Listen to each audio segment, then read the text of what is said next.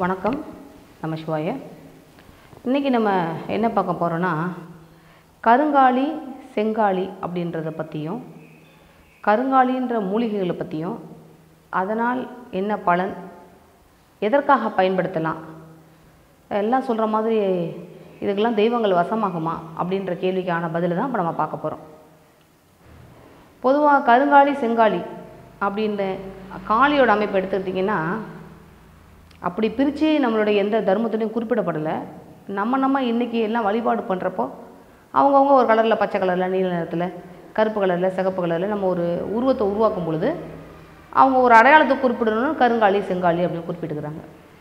காளி அப்படின்னாலே அவ சம்ஹாரம் பண்ணக்கூடியவ துஷ்ட விஷயங்களை சம்ஹாரம் பண்ணக்கூடியவ சர்வ தோஷங்களை சர்வ தோஷ நாசக்காரி அப்படின்னு சொல்லுவாங்க. சர்வ தோஷங்களை நாசம் பண்ணக்கூடியவ காளி.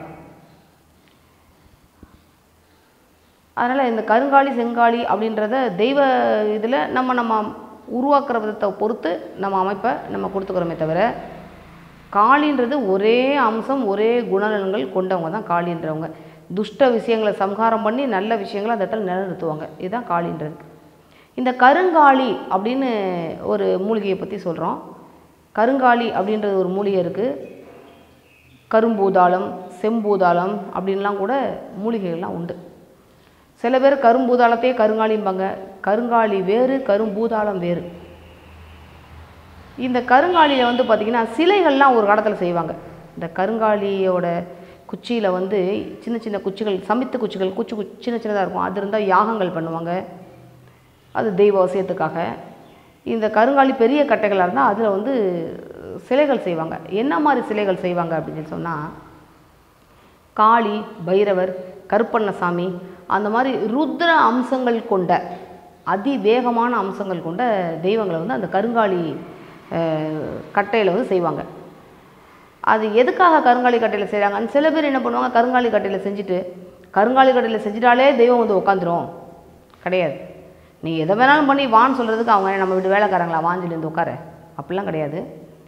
இந்த கருங்காலி மரமாக வளரும் பார்த்தீங்களா? அந்த மாதிரி மரமாக வளரும்போது எப்படி நம்ம சின்ன பிள்ளை சொல்கிறோம்ல பனைமரம்னா அதில் கருப்பணசாமி இருப்பார். அதில் ஆட்சி பண்ணுவார். ஆலமரம் அரச மரம் அப்படின்னு சொல்லி சொன்னால் வந்து அரச மரத்தில் பெருமாள் அம்சங்க இருப்பாங்க மகாலட்சுமி இருப்பாங்க ஆலமரத்தில் வந்து சுடலமாடசாமி மதுரவரசாமி முனீஸ்வரர் இவங்கெல்லாம் ஆலமரத்தடியில் உட்காந்துருப்பாங்க அப்படின்னு நம்ம சொல்லி கேள்விப்பட்டிருக்கோமா? இல்லையா நம்மளை பாட்டி தாத்தா நம்ம அப்பா அம்மா எல்லாம் சொல்லி கேள்விப்படுறோம். இன்னமும் நீங்கள் பழங்காலத்து கோயில் பார்த்தீங்கன்னா ஆலமரத்தடியிலையும் அரச மரத்தடியிலையும் இருக்கும். அப்படி இல்லாட்டினா வந்து பனைமரத்தடியில் பெரிய வல்லமையான கருப்பசாமிகள்லாம் இருப்பாங்க. அப்போது சில மரங்களை ஜீவனுள்ள உயிருள்ள மரங்களை தேடி பிடிச்சி அந்த தெய்வங்கள் போய் அதை அந்த மரங்களை ஆக்குப்பை பண்ணும். அதில் போய் உட்காந்துக்கும் அந்த தெய்வங்கள். இப்போது ஒரு ஒரு குருவி எடுத்துக்கிட்டிங்கன்னா நிறைய பழத்தோட்டங்கள் இருக்குது நிறைய பழங்கள் இருக்குது குறிப்பிட்ட ஒரு சில மரத்துங்களில் மட்டும் அது பழத்தை வந்து ரொம்ப கொத்தி தின்னும் அதுக்கு ஸ்மெல்லே தெரியும் இந்த பழம் ருசியாக இருக்கும். இந்த பழம் ருசி இல்லாமல் இருக்கும் அந்த குருவிகளுக்கு தெரியும். அவங்களுக்கு தெரியும் அந்த மண்ணில் நடமாடக்கூடிய பாம்புகள் மற்ற மிருகங்களுக்கு தெரியும் காலை பதிக்கும் போது தெரியும் இந்த இடத்துல நிலநடுக்கம் வரப்போகுது இந்த பூமிக்கு ஆபத்து வரப்போகுதுன்னு மிருகங்களுக்கு தெரியும். அதனால் மனிதன் தான் எல்லாம் அறிஞ்சவன் கிடையாது. எல்லாமே ஒரு ஒரு விஷயத்தில் ஒரு ஒரு பறவைகளும் மிருகங்களும் ஒரு பவர் உள்ளவங்க தான். எல்லாமே எல்லா விஷயங்களுமே. அப்படின்னும் போது இந்த கருங்காலி மரத்தை தேடி அந்த தெய்வங்களுக்கு தெரியும். எந்த இதில் அவங்க உட்காந்தா அவங்களுக்கு அது அது கம்ஃபர்டபுளாக இருக்கும்னு அந்த தெய்வ மரங்களை தேடி போவாங்க. அப்போ அந்த மாதிரி மரங்களில் இவங்க எடுத்து தெய்வமாக செய்யும் பொழுது ஏற்கனவே அவங்க கூடியிருந்த மரம். அதில் சாமி சிலை செய்யும் போது இன்னும் கொஞ்சம் நல்லா பக்காவாக உட்காந்துக்குவாங்க இதுக்காக தான் இந்த கருங்காலி மரத்தில் வந்து காளி பைரவர் அப்படின்றதெல்லாம் பண்ணுறது ஏன்னா அது கொஞ்சம் வேகமான அம்சம் கொண்டது தான். அதனால் வந்து பண்ணுவாங்க. இப்போது கருங்காலி மாலைகள்னு கூட வந்துருச்சு. கருங்காலி மாலைகளை வந்து இன்றைக்கி எல்லாரும் சவுட்டு மணிக்கு பயன்படுத்துகிறாங்க கருங்காலி கட்டையை கொண்டு போய் வீட்டில் சவுட்டு மணிக்கு இன்றைக்கி ஒரு பிஸ்னஸ் எல்லாமே இன்றைக்கி பிஸ்னஸ் ஆகிடுச்சு ஒரு ஒரு விஷயத்துக்கும் ஒரு ஒரு பவித்திரம். நம்ம கூட்டு குடும்பம் ஒரு காலத்தில் வாழ்ந்தோம். தாத்தா பாட்டி சித்தப்பா பெரியப்பா மாமே மச்சான் அத்தை எல்லாரோடையும் வாழ்ந்தோம். அந்த தாத்தாவோட வேலை அவருக்கு என்ன அங்கே வேலை? எல்லாத்தையும் மெயின்டைன் பண்ணுறது நீங்கள் என்ன பண்ணுறீங்க நீங்கள் என்ன பண்ணுறீங்க தப்பு பண்ணால் சரியான பாதையில் போகும்னு சொல்கிறது தாத்தாவோட வேலை. அந்த வேலையை பேரன் செய்வானா? செய்ய மாட்டான். குடும்பத்தில் அந்த தாத்தாவோட பிள்ளைக்கு என்ன வேலை? எங்கிட்ட இருந்தெல்லாம் சம்பாத்தியம் வருதோ. அந்த சம்பாத்தியத்தை கொண்டு வந்து பத்திரமா வீட்டுக்கு கொண்டு வந்து அதை எப்படி வரவு செலவு பார்க்கணும் அப்படின்றது. அவருக்கு அடுத்து பிள்ளையோட பேர பிள்ளையோட வேலை என்ன? அவன் இங்கே போங்க அங்கே போங்க இதை வாங்க அங்கே கொடு அங்கே அப்படின்னு வேலை சொன்னாங்கன்னா அதை போய் வேலை செய்கிற வேலை. வீட்டில் உள்ள பெண்களுக்கு அந்த எல்லாம் இவங்க எல்லாம் அலைஞ்சு வர்றவங்கள நல்லபடியாக கவனித்து அவங்களுக்கு தேவையான உணவுகளை தயார் பண்ணி அவங்கள மனசறிஞ்சு அவங்கள பார்த்துக்கிறது பெண்களுடைய வேலை. இதெல்லாம் ஒரு கூட்டு குடும்பத்தில் ஒவ்வொருத்தவங்களுக்கும் ஒவ்வொரு வேலை கொடுக்கப்பட்டிருக்கு. இது அத்தனை வேலையும் குடும்பத்தில் மூத்தவர்ன்றதுக்காண்டி தாத்தா பண்ணிட முடியாது. இது அத்தனை வேலையும் குடும்பத்தில் செல்லப்பிள்ளைன்றதுக்காண்டி பேரப்பிள்ளை பண்ணிட முடியாது. ஒவ்வொருத்தவங்களும் ஒவ்வொரு வேலையை தான் பண்ண முடியும். அதே மாதிரி தான் ஒவ்வொரு தெய்வங்களுக்கும் ஒரு ஒரு விஷயம் ஒரு ஒரு வேலைகள் ஒரு ஒரு ரூபங்கள் உண்டு. அதை போய் நீ எல்லாத்தையும் சவுட்டு மணிக்கு இதை நீ வாங்கிக்கணும் உன் வீட்டில் வச்சா பிஸ்னஸ் நடக்கும் பிஸ்னஸ் நடக்கும்ன்றத கண்டிப்பாக ஆன்மீகம் அறிஞ்சவங்க மாந்திரிகம் அறிஞ்சவங்க இதை ஒரு வந்து ஒரு எக்ஸ்கியூஸாக எடுத்துக்கோங்க. நம்மலாம் ஏதோ தெரிஞ்சோ தெரியாமலோ நம்ம அறிஞ்ச ஆன்மீகம்லாம் பெரிய விஷயங்கள் நம்ம கடலளவுலாம் அறியலை. கடுகிலும் கடுகு அணுவிலும் அணுவு நம்மளுக்கு கொடுத்துருக்காங்க.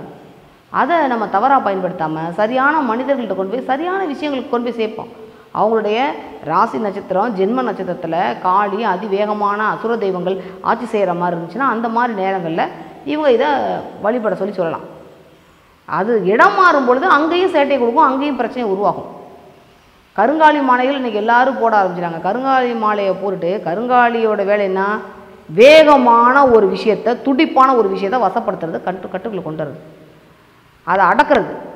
ஒரு காளியோ ஒரு கருப்பணசாமியோ மதுரை வீரனோ அதிவேகமாக வருவாங்க. தாம் புள்ளன் தான் வந்தாலும் அவங்க வர்ற வேகத்தில் வந்து நம்ம பாதிக்கப்படுவோம்.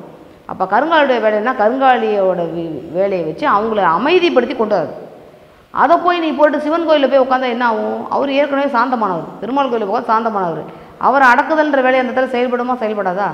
அதனால் கருங்காலி அப்படின்றது சரியான அவங்களுடைய அமைப்பை பார்த்து அவங்களுடைய குலதெய்வ அமைப்பை பார்த்து அவங்களுடைய இஷ்ட தெய்வங்கள் அமைப்பை பார்த்து அவங்களோட ராசி அமைப்பை பார்த்து என்ன மாதிரி தெய்வங்கள் அவங்களுக்கு ஆட்சி செய்யுது என்ன மாதிரி தெய்வங்கள் இன்றைக்கி பக்காவாக உயிரோட்டமாக இருக்குது அப்படின்றத பார்த்துட்டு அதுக்கு தகுந்த மாதிரி இந்த கருங்காலிகள் கொடுக்கலாம்.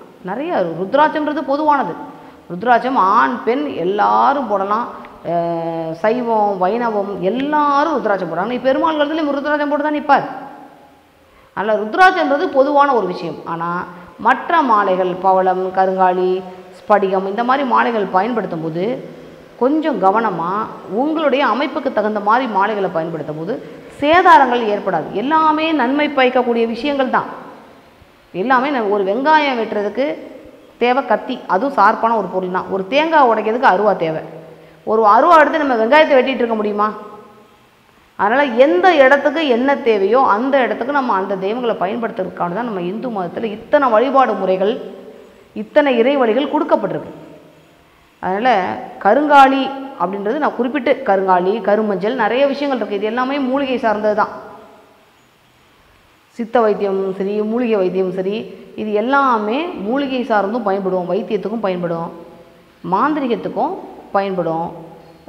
சில மாந்திரிகள் எல்லாம் பார்த்திங்கன்னா அந்த ஈடு மருந்து அப்படின்றதெல்லாம் கொடுக்குறாங்க. நிறைய விஷயங்கள்லாம் உண்டு. அது அதெல்லாம் என் பிள்ளைய கொடுத்துட்டு வசம் பண்ணிட்டாங்க அப்படின்ற மாதிரிலாம் சொல்கிறாங்க ஒரு மூலிகைகளை கொண்டு ஒரு ஒரு ஐந்து வகையான மூலிகைகள் ஒரு பத்து வகையான மூலிகைகள் கொண்டு ஒரு சூரணமோ ஒரு லேகியமோ தயார் பண்ணுறாங்கன்னு வச்சுக்கோங்களேன்.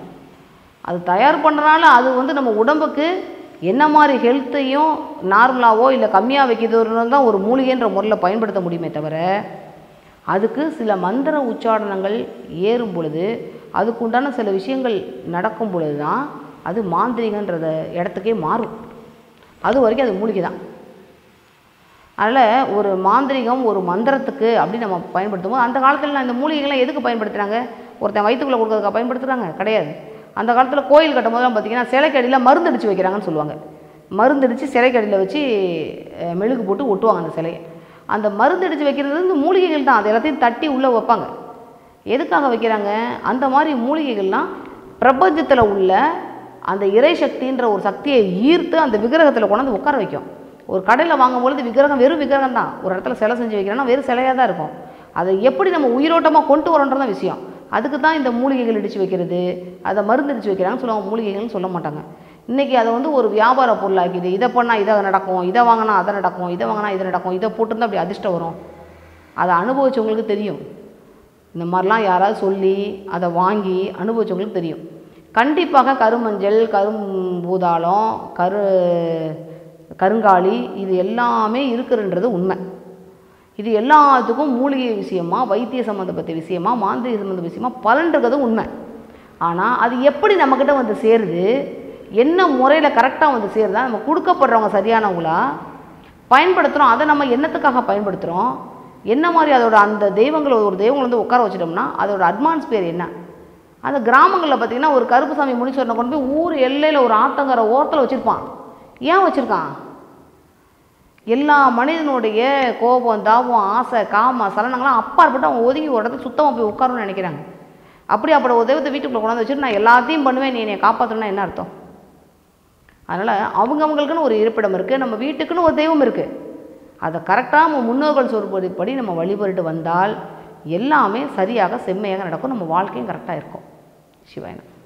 நாங்கள் சொல்கிற இந்த தகவல்கள் உங்களுக்கு பயனுள்ளதாக இருக்குன்னு நினச்சிங்கன்னா எங்களுக்கு கமெண்ட் பண்ணுங்கள் லைக் பண்ணுங்கள் ஷேர் பண்ணுங்கள் எங்கள் சேனலை சப்ஸ்கிரைப் பண்ணுங்கள்